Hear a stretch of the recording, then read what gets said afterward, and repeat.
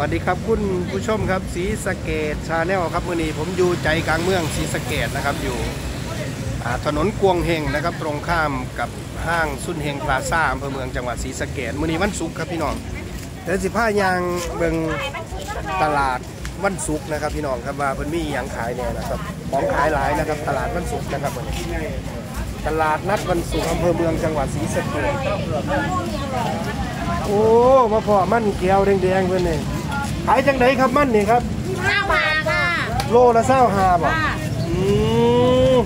มันแก้วกิโลละเศร้าหาตัวนั้นนี่ยังครับนี่ทั้งนี้ก็เศร้าหานี่อันนี้ไอ้ไอ้ขั้วที่มาค่ะเศร้าหาโอ้เศร้าหาคือกันบ่ค่ะอืมเศร้าหาเบิดให้ผมยังรอเบิ่งกันเด้อเดี๋ยวถึงว่าเบิ่งใหม่เด้อครับจ้าแบบแดงจ้าเศร้าอะเดี๋ยวยางไปเบิ่งกันครับพี่น้องครับมื้อนี้ตลาดนัดนี่ โลละ 15 บาทนะครับแดงกับสูงๆเลยครับพี่น้องครับอะเดี๋ยวสิพาทุกท่านนะครับยางเบิงตลาดวันศุกร์นะครับ อยู่ถนนพวงเฮงอำเภอเมืองจังหวัดศรีสะเกษนะครับพี่น้องครับอืม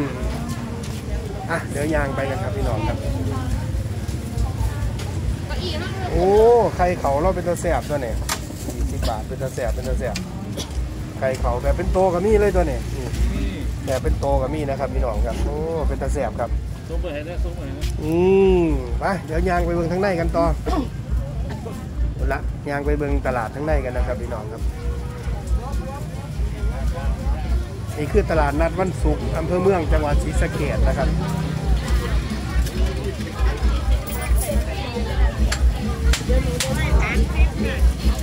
ทายเอาไปแล้วอีพอเอาไปนี่ข